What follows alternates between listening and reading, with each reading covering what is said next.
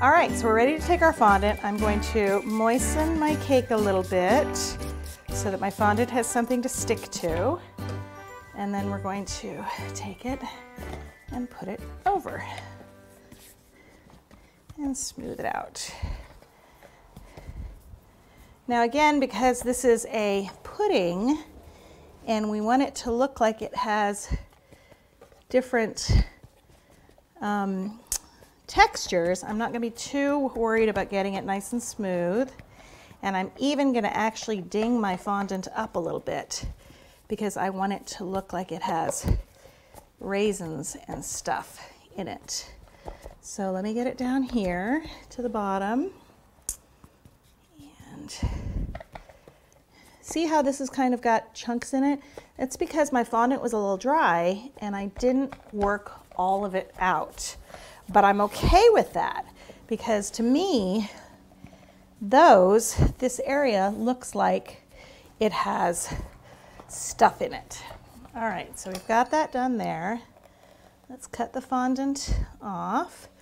And then we're gonna go ahead and add our texture to give it that look like it has different things in it.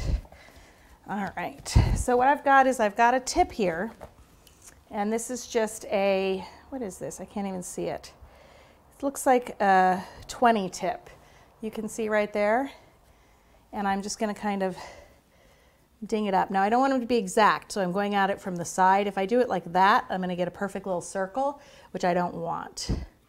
I want it from the side. So what I'm doing is I'm doing it just like this.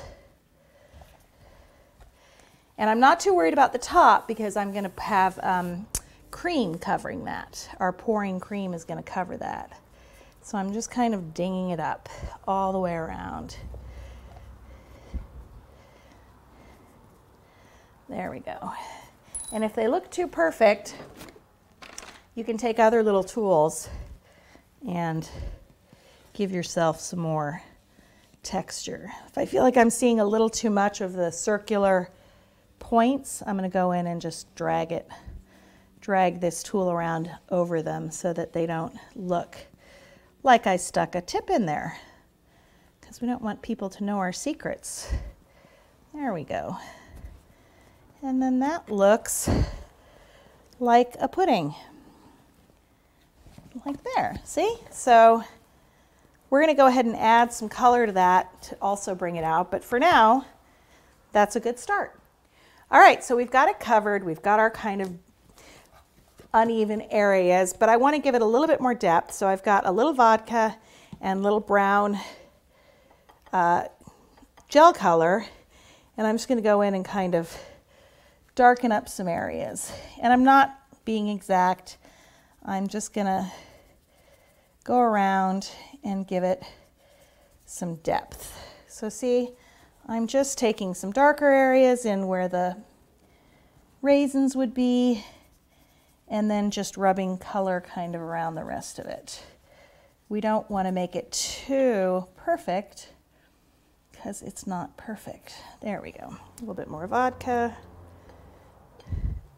You know my motto, never enough, never too much vodka. Okay. There we go. Get some color in here, give it a little bit more depth. If you have an airbrush, you could do this with an airbrush.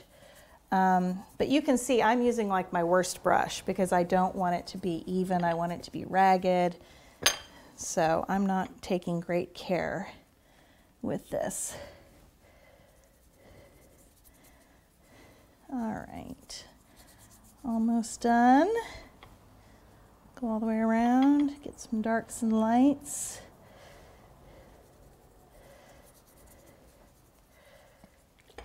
And you can see I'm actually not too worried about the top. As I said before, we're going to be covering that with a layer of cream colored modeling chocolate because that's where our pour from our pitcher is going to be. So we don't really have to make sure that that is perfect.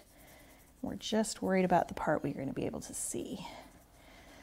All right, so I like that. I think it's kind of looking just enough, dark enough for the pudding, but also has some darker and lighter areas to give it some life. And I think we're good. Okay, so we're gonna take this now. I'm gonna show you how to attach it to the platform board we've already prepared. And then we'll start with the rest, we'll start with our cream.